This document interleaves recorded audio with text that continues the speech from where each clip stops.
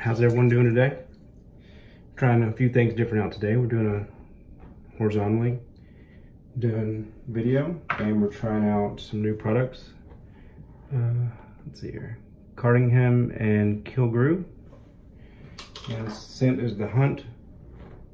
It's a glycerin based soap. I did test it to make sure we weren't gonna go fall flat in this video. So this is semi initial impression video. Um, this is also one of their brushes that came in their little kit. And we'll get started here. It's a very small puck and it's a look like a glycerin based soap. And this is a synthetic brush. And it feels kind of like the silver silver tech from Edwin Jagger and Mühle that I had, the orange or the butterscotch handle, urn shaped brush. And I love the shape of that brush. I love the weight and feel of that brush. I do not like the fiber. Yeah, this looks nearly identical. Just a bit more densely packed. Uh, what I don't like about it is that it flings lather everywhere. The hairs actually have, a, or the fibers have a very uh, springy and like I'm pushing, pushing, pushing, pushing, and then like reach, reaches a threshold and then it decides to give. Whereas like um, adders and bores, but they both have, I don't know, it seems like a one to one ratio. Whenever you push in, it splays out as much as you'd expect, whereas this one does not. And the surface area on this is not what I'm used to. So it'll take me a bit longer to load up. I just got out of the shower just a bit ago. One thing you can't deny the um, once you get them spread out, they stay spread out and the tips are really soft. Just generally flings leather everywhere because they're so springy. And the scent is incredibly light.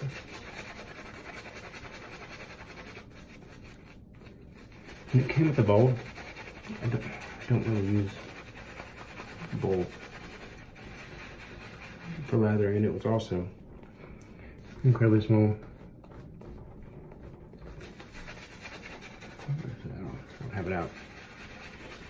But it was essentially the same size as this, but it was stainless.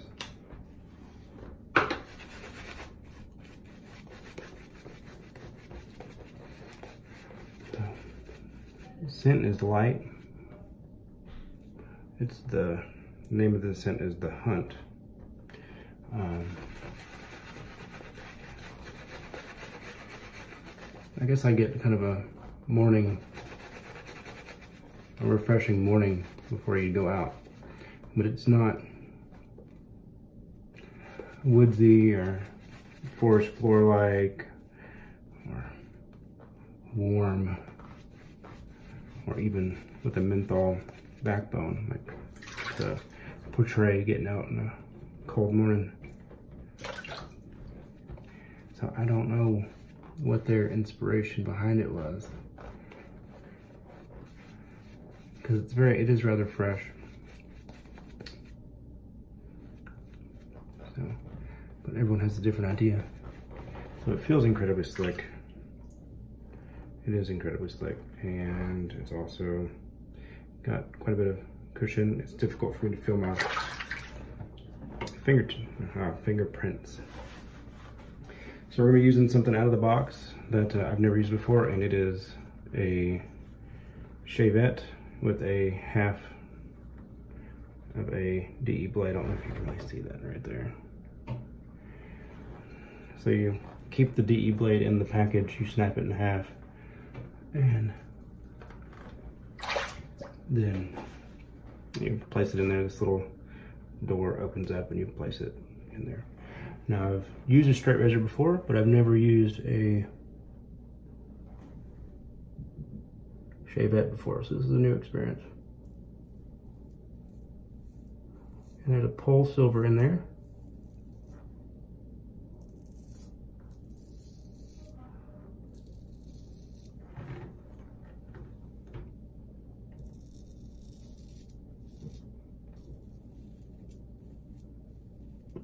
My cheek out a little bit.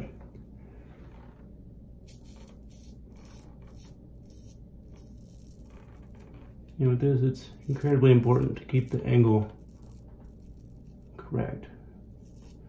And this lather is super dry.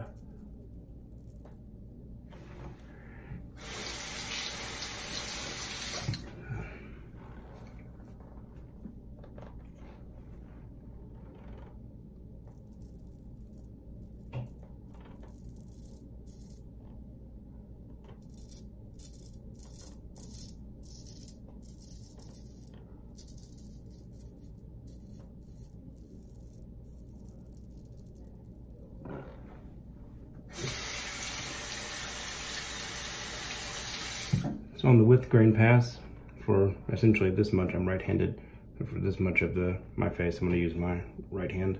And then for this much, I'm gonna use my left hand.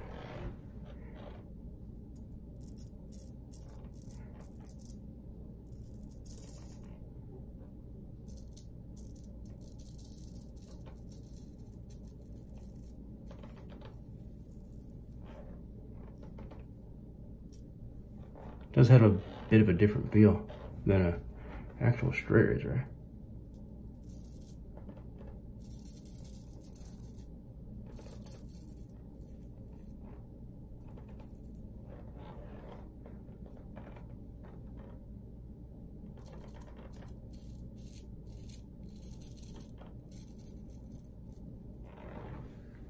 The blade is not nearly as wide as the holder that's in. I don't know if you can really tell.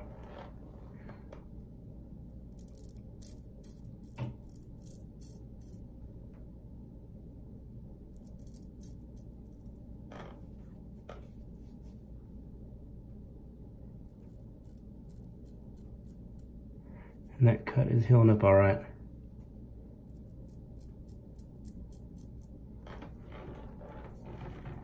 And there's no lather there. I'm not to shave it. And the lather that is there is dry. So I'm going to go back in here and just freshen it up.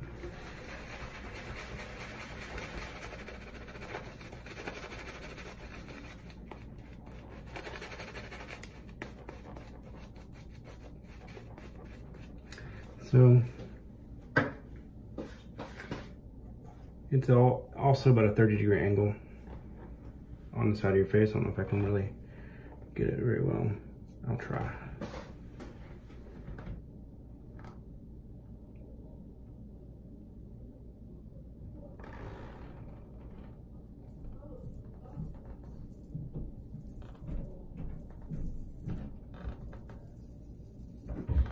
you hold hold tension against, pull against you don't want your skin to get a little bulgy because you're putting pressure. So just like with a DE razor, no pressure.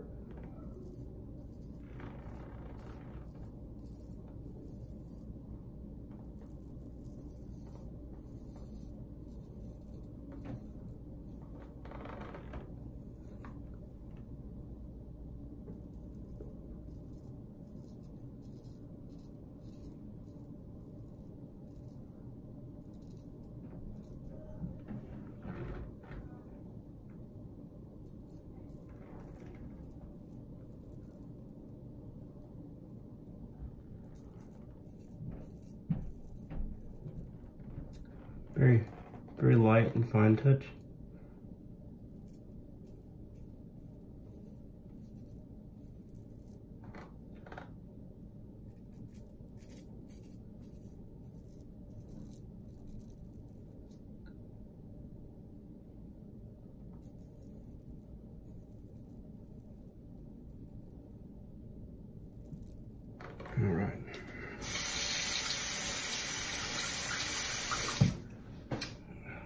back to this.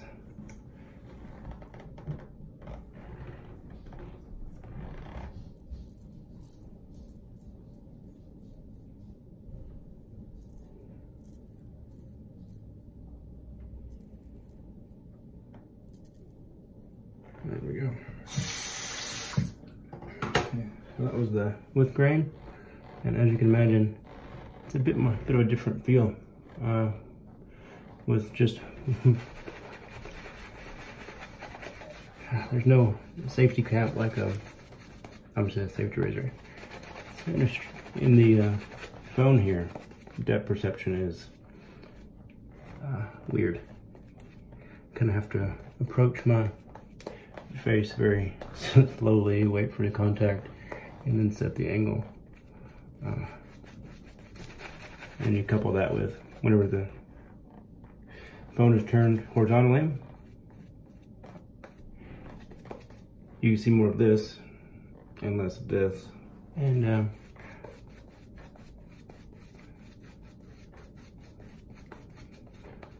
it does make it a bit more difficult.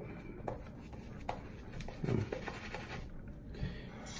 I will say this is thirsty soap. Thirsty soap.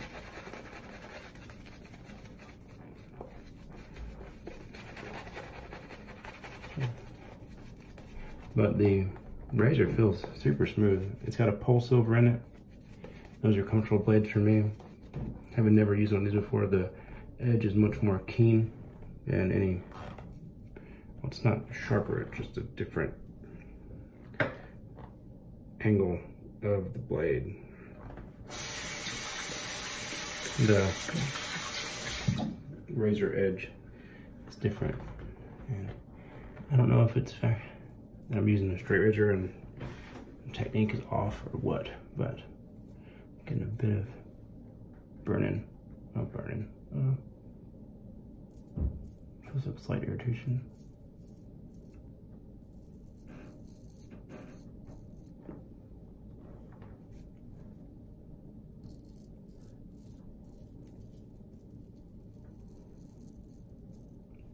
This is not a exact exact representation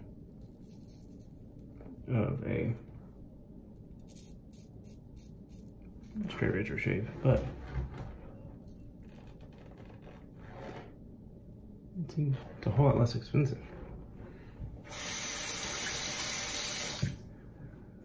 And I feel like the margin of error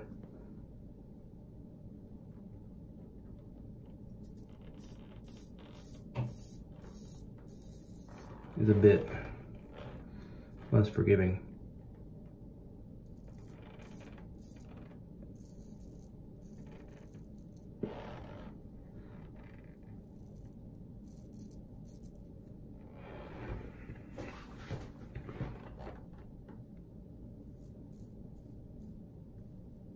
Because you're using a DE razor. Edge.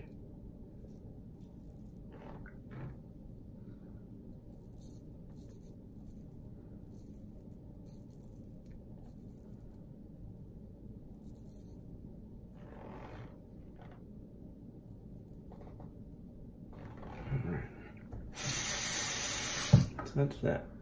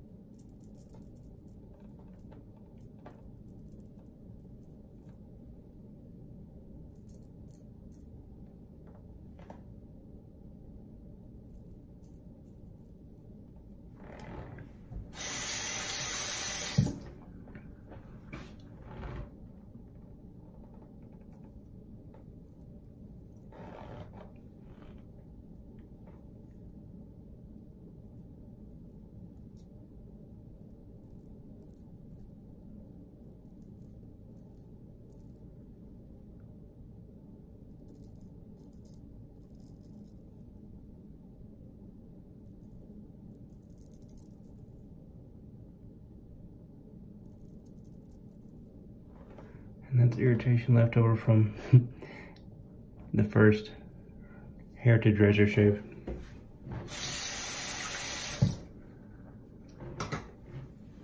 Okay, it's still sufficiently slick, but I'm gonna freshen it up anyway.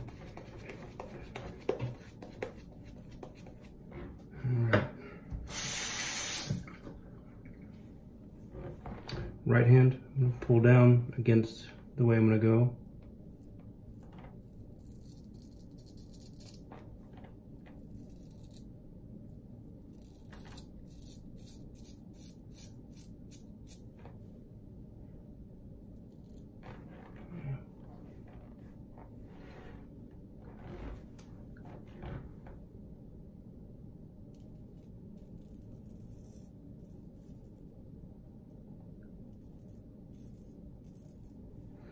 Shave a curve, just pull it off.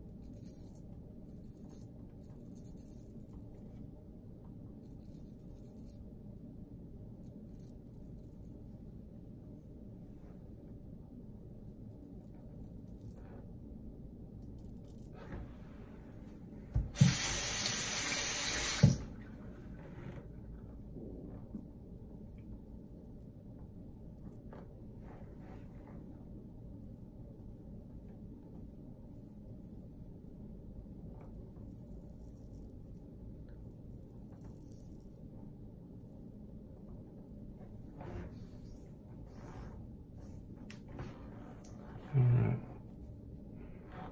To be fair, the only spot on here that needs to be got is right there.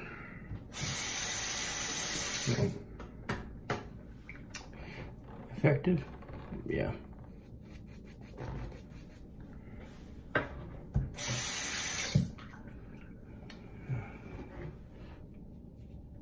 Not gonna be my first choice though. Would I suggest it to someone as their first razor? No, not in a million years.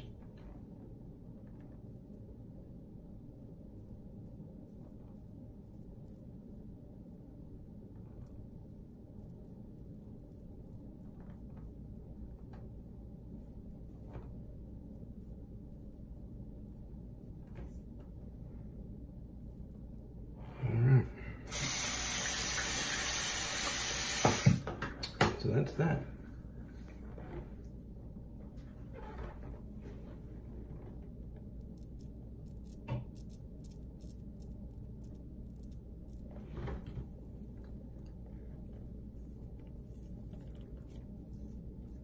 Okay, that's good. That's good. Good. Okay.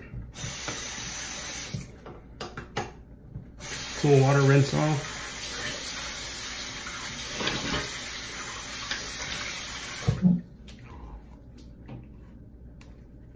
Well, I made it through. Didn't nick myself. I will say that it's definitely not the most comfortable shave I've ever had, but not used to shave it ever and I haven't used a straight razor in a little over a year or so. Yeah. Used to exclusively shave with them, but I've definitely come out of practice. But, uh, can't complain about the shave. Or the results. It is incredibly smooth. So this did not come with it, but gotta love Alt Innsbruck. Tobacco flower and menthol. We will see exactly if there's any irritation anywhere. Or if it was just, maybe I have a sensitivity to one of the ingredients in that soap. Oh yeah. Just an absolute warmth, stinging all the way through here. Yeah.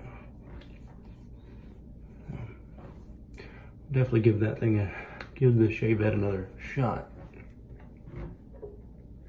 With a different blade though. Brush performed adequately. soap. Do not believe that the warming sensation was from the ingredients in the soap. The soap is actually very slick and has good cushion. And brush handle is resin. Uh, it feels heavy. It doesn't feel hollow, I'll say that. So it's made from like a stock of resin maybe, because I don't see where it's, yeah, I do right there. All right, so there's a line. So it's injected molded, injection molded, um, not hand turned. And the fiber, not my favorite fiber, um, but performed great. And let's see here, it came with some matching aftershave balm, which you'll need. Probably due to my inexperience with that shavette. But, uh, half an almond size dollop, so I guess a pea-sized dollop, and see how it goes on.